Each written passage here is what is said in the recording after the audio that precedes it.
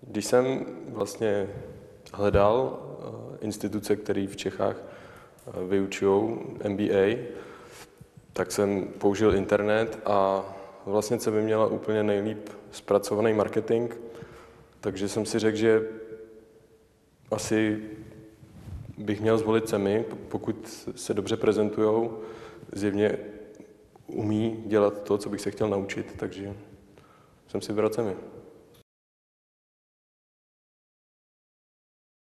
U všech předmětů máte určitý hranice, v kterých se musíte držet eh, a právě u managementu osobního rozvoje a u toho coachingu je vlastně vytváříte, takže ty byly nejtěžší a asi nejpřínosnější.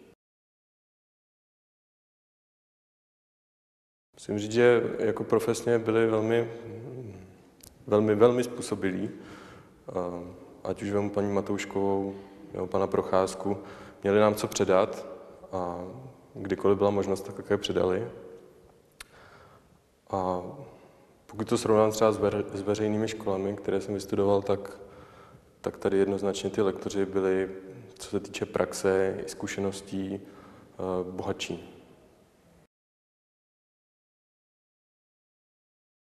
Doporučil bych eh, studium každému, kdo chce eh, si prohlubit znalosti v oblasti managementu.